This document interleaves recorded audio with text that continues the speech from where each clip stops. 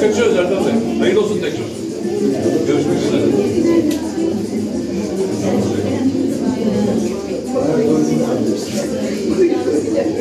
Bebek için valla maşallah. Orada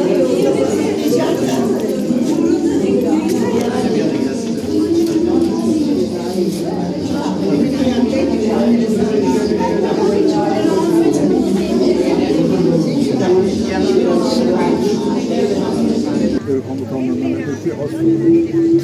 Kıbrıs gazisiyim aynı zamanda. 30 yıla yakın resim yapmaktayım. Kara kalemle başladık.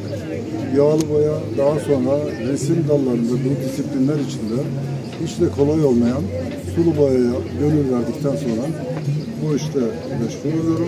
Yaklaşık 15 yılı geçti sulu boyayla uğraşmak. Burada açtığım bu ikinci sulu boya e, sergisi. Daha önceki açtığımı da gene bu isimle açmıştım.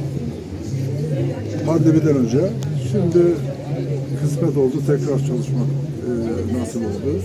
E, geldiğiniz için çok teşekkür ederim. Kaç tane sulu boyanız var şu an sergilenen? 45 tane var. Bir daha söyleyin lütfen. 45 tane sulu boya var.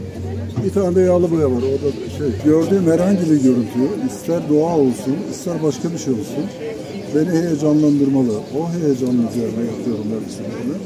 Ya fotoğraflıyorum veya hazır çekilmiş fotoğraflardan da kullanabildiğim oldu, kullandıklarım oldu.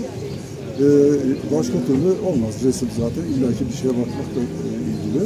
Ama onu e, görüp yorumluyoruz, kendimize göre yapıyoruz bir e, fotoğraf istiyorsak onu duvarımıza asmamız mümkün. Ama biz resim istiyoruz. Dolayısıyla göz, gördüğümüz e, görüntüyü kendimize göre yorumlayıp resim haline getiriyoruz. hissettiğimiz gibi ya. Evet, evet. Hissettiğimiz gibi. Onu vurguluyoruz. Önemli olan da bu.